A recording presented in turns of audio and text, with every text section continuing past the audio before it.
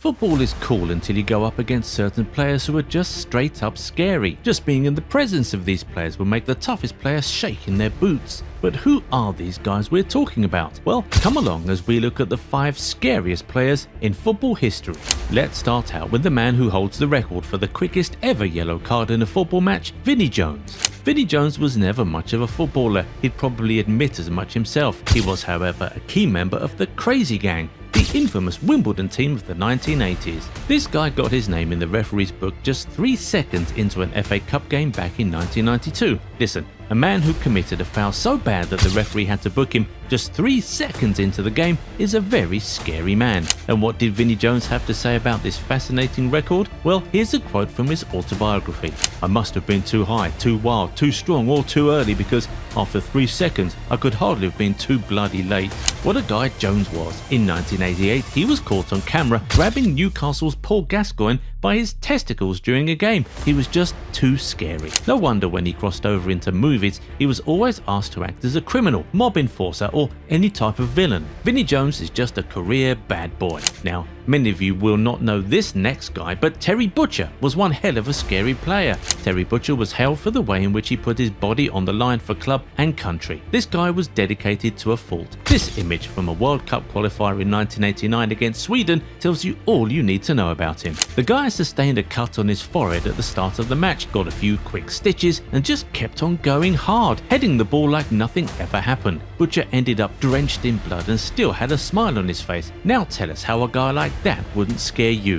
To be honest, with a name like that, Terry Butcher was surely destined to be a very scary player. Another really scary Englishman, Neil Ruddock. He was once voted one of the hardest footballers of all time. This guy was involved in a little scuffle with Eric Cantona on the pitch, fractured Peter Beardsley's jaw and broke both of Andy Cole's legs, all during his spell playing for Liverpool. And guess what? Years later, he joked that he actually didn't intend to break both of Cole's legs, he only meant to break one. What a guy. His nickname is Razor. What more do we need to tell you about how scary this guy is? Then you have Pepe, one of the real masters of the dark arts in the modern game. We're all too familiar with this guy. He's always doing one thing or the other to try and intimidate his opponents. From hard tackles to stamping on opponents and even outright kicking them, Pepe will do anything, absolutely anything, to win the ball or just intimidate his opponents. He once stamped on Messi's fingers in a Clasico game and kicked Casquero in a game against Getafe, and these are just a few of his many, many crimes. As a player,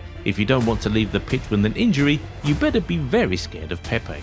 Now, from a former Real Madrid man to a former Barca man, Pablo Alfaro. This is the guy Sergio Ramos had to beat to become the player with the most red cards in La Liga history. That alone should tell you that this guy would do absolutely anything to stop his opponent. He even once put a finger up the butthole of an opponent and defending it by saying that he was defending his team to the limit. Well, Pablo, your limit is a bit too scary. And those are the five scariest players in football history. Some other really scary players are Roy Keane, who more or less ended Alfie Haaland's career with a horrible tackle, refused to apologise for it and even publicly admitted to the tackle being premeditated. Nah, he was surely one very scary fellow. There was also Peter Schmeichel. Before he even opened his mouth to say anything, his size would instill real fear in you. This guy is something of a giant standing at 6 feet 4, and the knowledge that he's Scandinavian already makes you not want to even think of messing with him. Speaking of Scandinavians, Zlatan Ibrahimovic was super scary too.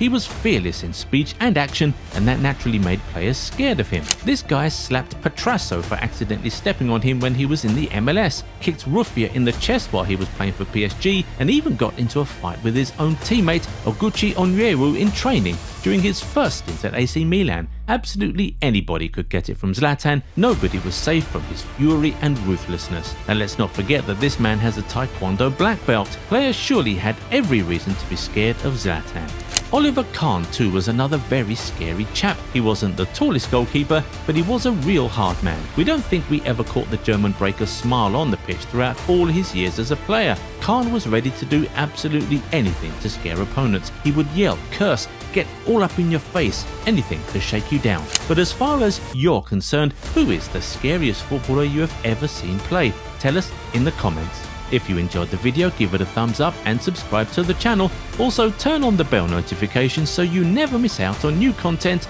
and we'll catch you in the next one. Bye bye.